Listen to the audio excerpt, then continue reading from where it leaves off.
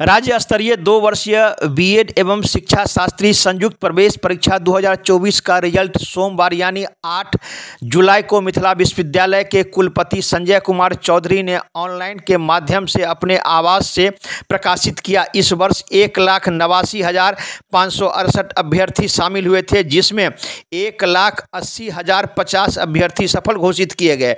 मिथिला विश्वविद्यालय पाँचवीं बार इस परीक्षा के लिए नोडल विश्वविद्यालय बनाया गया था। वहीं मिथिला विश्वविद्यालय के आईक्यूएसी कक्ष में राज्य नोडल पदाधिकारी अशोक कुमार मेहता ने पत्रकारों को दी विस्तृत जानकारी। इस अवसर पर डॉक्टर अरविंद कुमार मिलन, डॉक्टर अरुण कुमार सिंह सहित कई लोग इस अवसर पर उपस्थित थे।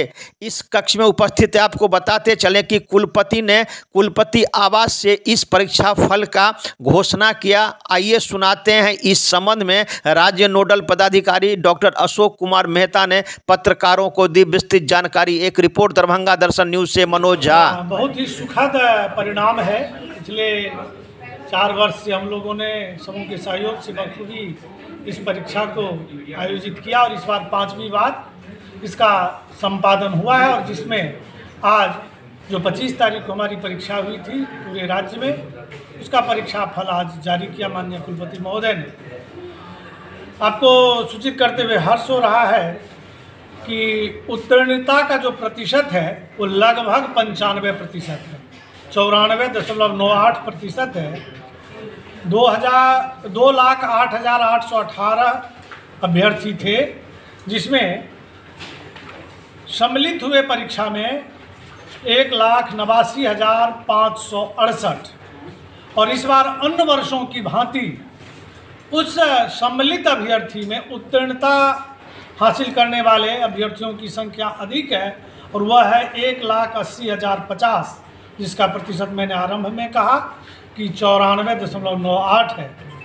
और इस बार हमारी बेटियाँ बाजी मारती रही हैं, सभी परीक्षाओं में बिहार की बीएड में भी टॉप रही है। 120 अंकों की परीक्षा में 102 अंक हासिल करके हाजीपुर वैशाली की है प्रीति अनमोल। प्रीति अनमोल को भी बधाई है। और कुल जो टॉप टेन है उसमें दो लड़की है और आठ लड़के हैं। ऐसा देखा गया कि टॉप टेन में जो सौ प्लस कितने नंबर वाले जी सौ प्लस में जो है तीन बच्चे हैं।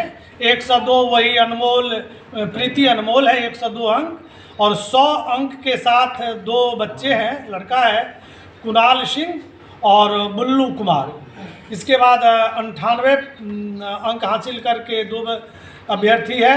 संतानवे पर तीन है और छियानवे पर दो है। एक सौ दो की संख्या में।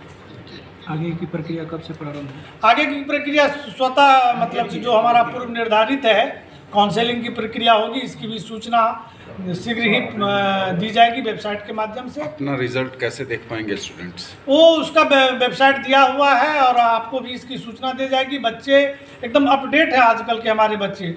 वो C E T B Ed दो हज़ार चौबीस का जो साइट है उस पर अपना लिंक करेंगे और उन्हें अपना परीक्षा परिणाम अभी से ही दिखाई पड़ेगा। हमारा जारी हो गया है अब एयर में है हमारा परीक्षा परिणाम।